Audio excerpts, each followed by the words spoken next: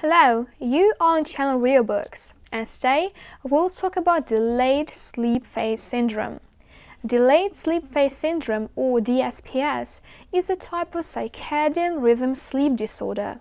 It's also known as delayed sleep phase disorder or delayed sleep wake phase disorder.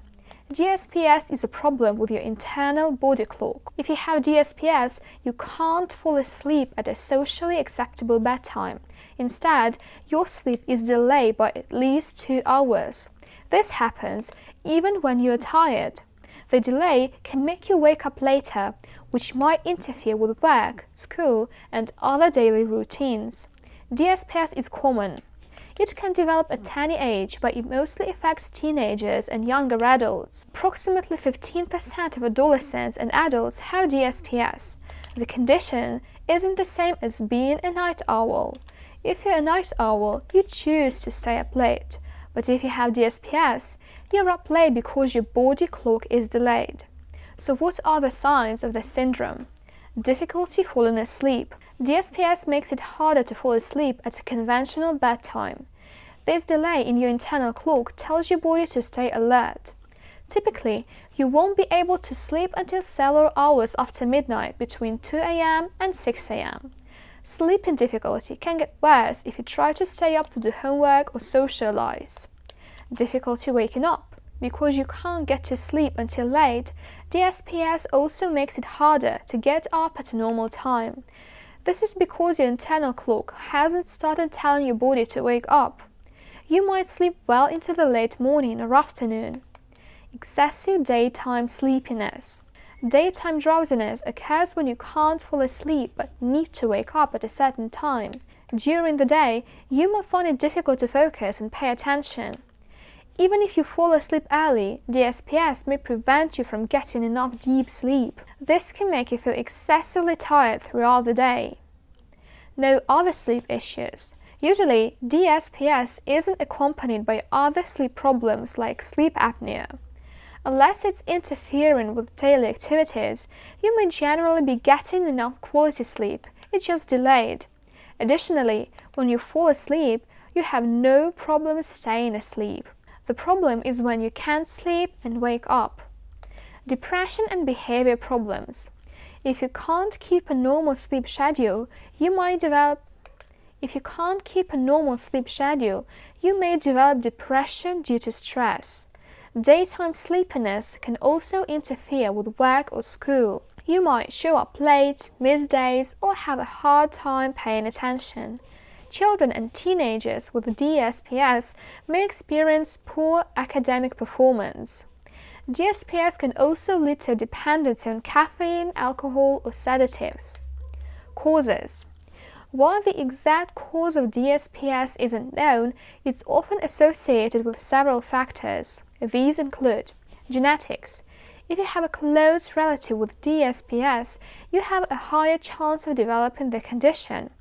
40% of people with DSPS have a family history of the disorder.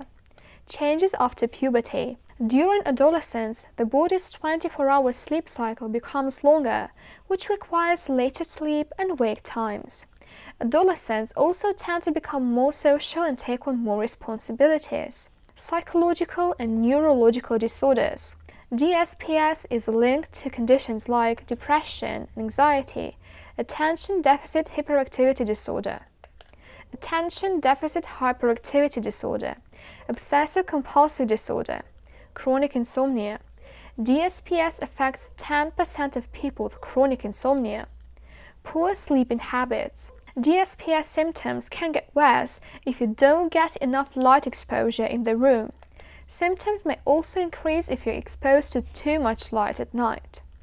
DSPS versus night owl. DSPS isn't the same as being a night owl. If you're a night owl, you might purposely stay up to do homework or socialize. You'll also wake up later than usual.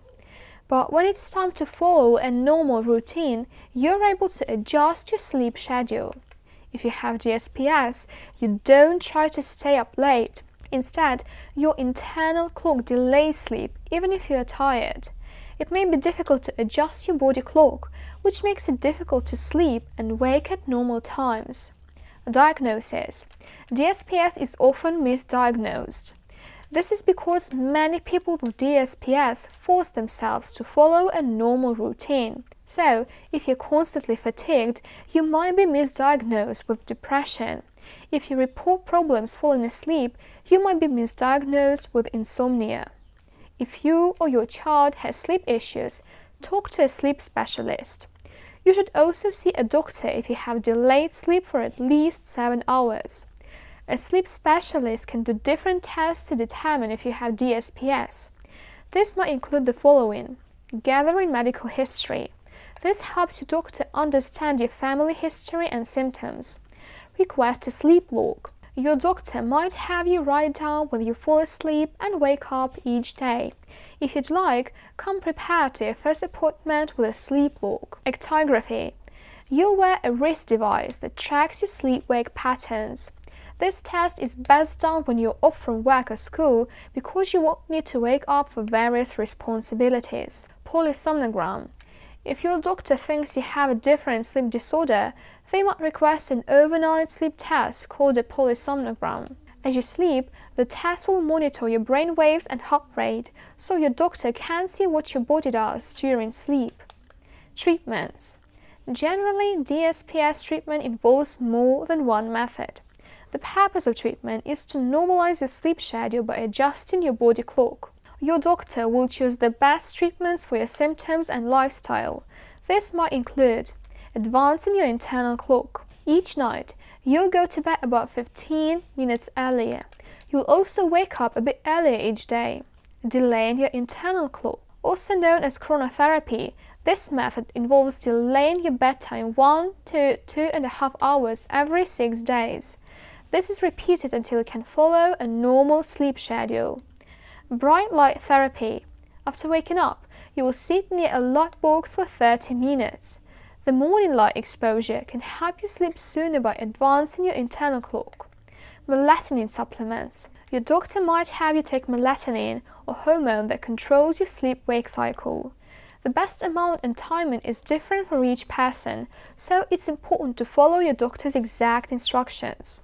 Improving sleep hygiene. Good sleep habits include following a regular sleep schedule and avoiding electronics before bedtime.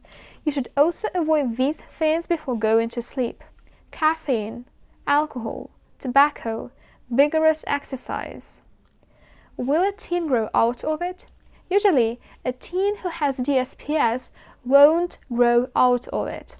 DSPS often continues into adulthood, so it needs to be actively treated. The initial treatment will adjust your body clock, but to maintain that change, you'll need to continue treatment. Your doctor can explain the best way to keep treating DSPS. Delayed sleep phase syndrome is a body clock disorder. Your sleep cycle is delayed, so you can't fall asleep until two or more hours past the normal bedtime. DSPS isn't the same as being a night owl. If you have DSPS, you don't choose to stay up late. You can't fall asleep even when you're tired.